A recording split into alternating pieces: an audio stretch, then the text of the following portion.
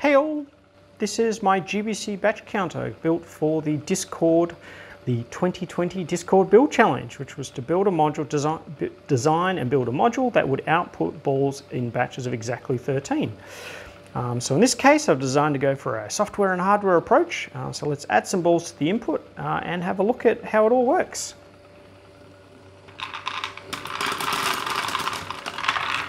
So first up, we'll come and have a look at the brains of it. Um, so I've got a little powered up City Hub here on the right. Um, we've got a smartphone on the left. Uh, and see here, we've got three dials. We've got a, the first dial here, it actually allows me to dial the number of balls up and down. So in this case, I can dial it down, seven, eight. So now it's only going to count to eight. But let's put it up to back up to 13. Uh, can also take it right up to 30, a standard, the maximum batch that a GBC module can pass at any one time. Oh, let's put a couple more balls in. Uh, the, yellow, the yellow gauge is obviously the count of balls passing to the next module. Uh, and the grey gauge on the right is actually for when I'm running it off batteries and it allows me to dial the speed of the motor up and down. We can notice it's going super slow at the moment. So let's, let's notch it up a couple of notches and then have a look at some of the other parts of the mechanism. The next part is the motor control. So I drive the whole thing off a single motor and take advantage of this flip-flop gear arrangement. So we'll notice here as it just gets up to 13 that the motor will actually run in reverse. That flips this gear to drive this other one. And this gear is the one that controls the up and down of the output ramps. Like so, you can see the, the lift arms lifting up. Uh, and it returns back to the bottom just from gravity. So it's just, just the geometry means that even when it's at full tilt, it'll always return back to close. Um, when the motor runs the other direction, uh, it runs the conveyor, which is what we can see up here on the left. So let's um, throw a few more balls back on the input again, and we'll uh, keep going on the tour. Cool.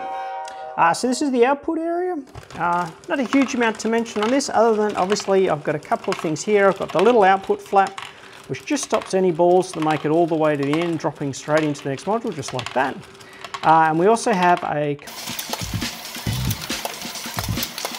couple of slopes and these slopes ensure that when it passes it to the next module it's always narrower than that, uh, that 10 bricks wide.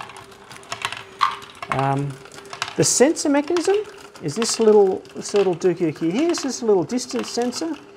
Um, and so when I originally built this, I actually had the balls passing directly in front of it but I found it was all working a bit too quick and the software couldn't quite keep up with it. So what I've done instead is I've got this little bent lift arm here that the balls lift up and it means that um, the balls actually sit in front of the sensor for uh, a little bit of time now. So they stay in like for half a second. Uh, and this little half a second is enough to basically uh, allow everything to sort of catch up and know that the ball has passed. Um, other than that, um, that covers the main features of it. so I'm going to step back here, we'll load up the intro again, uh, and we'll just have a look at the different parts of working. In fact, let's, let's get this back up to 85 again. Just going to sit this here, we'll put some balls over in the front.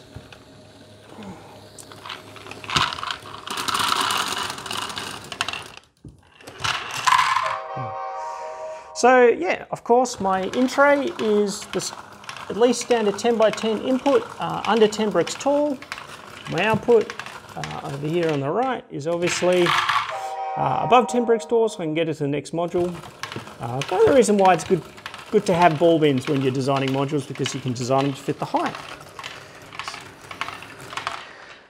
So you can see here the intro picking up the little chain lift, picking up the balls, taking them to the next module.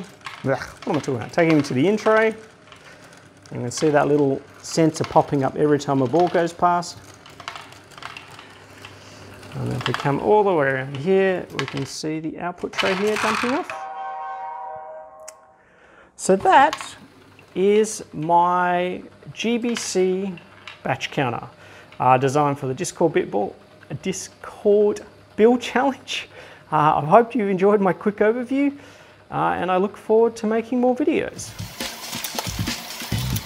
that was the end of showing off the module. How if any of you are interested, want to stick around for a couple more minutes, I'll walk through, through the different parts of the program uh, and how it all works.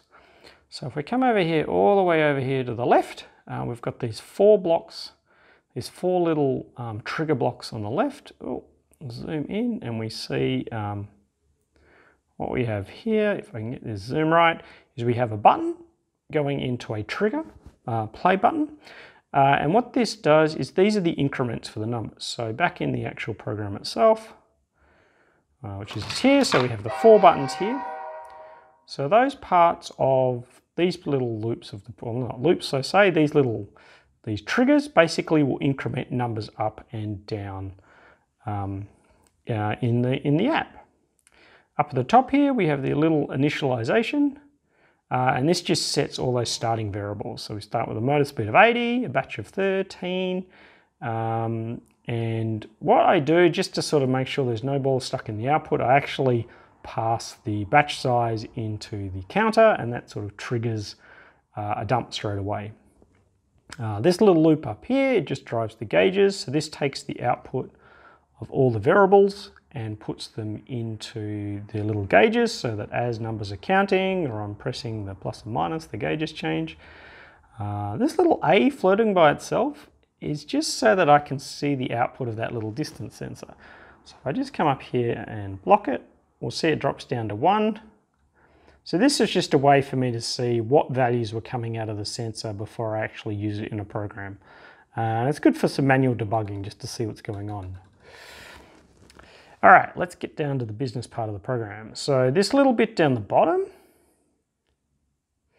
is the actual business is the actual bit that's sort of the main logic of the program. So this first little one at the top, um, this is responsible for counting. So what happens is it comes through and it's it's reading continuously. It's it's in a loop. Just oh, shrink this down a little. The whole thing's in a loop, so it's continuously reading the input of that little distance sensor. And it comes through and it waits until there's something in front of the distance sensor. Now, um, it doesn't count straight away though. What it does is it actually waits until there's something not in front of the distance sensor. So this is the same as if you're on a keyboard and you're pushing a button down uh, and up and letting it go, and it wouldn't actually count until you lift the button up. And this ensures that I don't get uh, double counts for the time that that little blocker stays in, in front of the sensor. All right, so that's the little counter loop there. So it's just reading them and every time that sort of it sees something, it increments a, a variable by one. Uh, and then down the bottom, we actually, this last little section here is the section that's controlling uh, the, the, the motor itself. So uh, we have our little decision at the start, which just says, is the current count greater than uh, the count I want to achieve? If it is, then run the little section at the top. And this section at the top is the one that's actually um, reversing the motor. So it reverses it, um, it stops, waits a little bit, reverses it, um, waits a little bit, uh, plays the horn sound. And the horn is kind of there as a nice little audible reminder, but also it actually acts as a delay.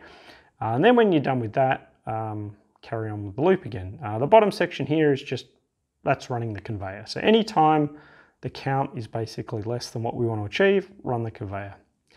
Uh, the second little bit on the right, I just found with bigger batches, so if it's basically a batch of 20 or greater, it actually does a double tip. So it'll tip once, come back to neutral, uh, and then tip again. Uh, so that is the actual logic of what's going on behind the scenes. Uh, not a particularly complex program, uh, but certainly, uh, yeah, a few challenges getting used to the block language and writing, writing code on a phone. All right, so that's this is, uh, this is definitely it this time.